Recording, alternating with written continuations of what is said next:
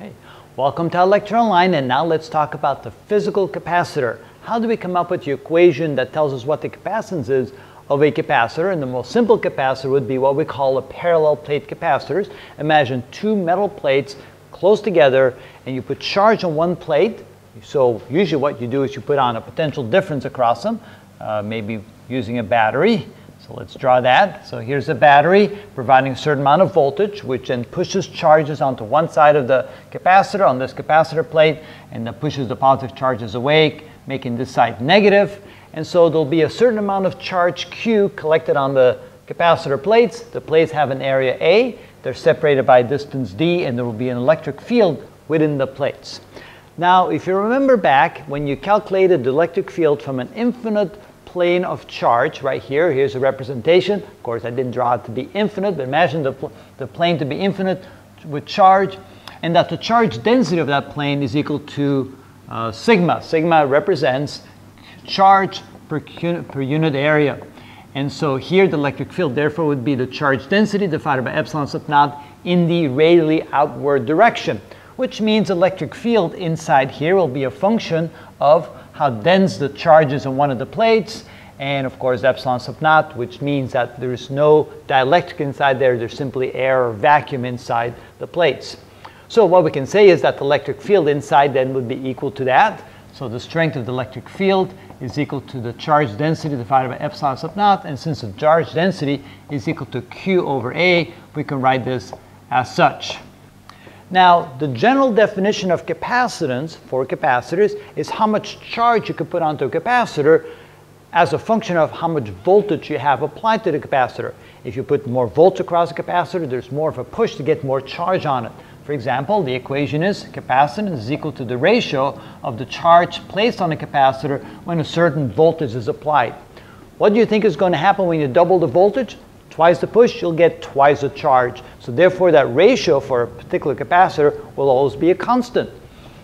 Double the voltage, double the charge, triple the voltage, triple the charge. The ratio will always be C, specific for that capacitor. But how do we find the capacitance of a capacitor as a function of its physical dimensions?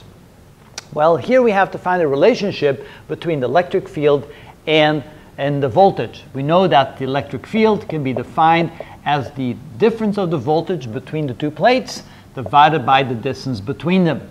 So here we know that the strength of the electric field is also a function of what the potential difference is divided by the distance between them because we know that V is equal to E times D. Of course, that's only correct if we have a constant electric field. And in the case of capacitor plates, when they're side by side like that, we're dealing with a constant electric field, so this is correct in this particular case. We'll look at some other examples where that will not be the case and we'll have to handle it a little bit different then, of course. Okay, now how can we combine those two, all those combined? Well, first of all, we can replace V by E times D, so let's do that. So C is equal to Q divided by the electric field strength times D. And the electric field strength can be replaced by Q divided by epsilon sub naught times A. So this can be written as Q divided by E, which is going to be written as Q divided by epsilon sub naught times A.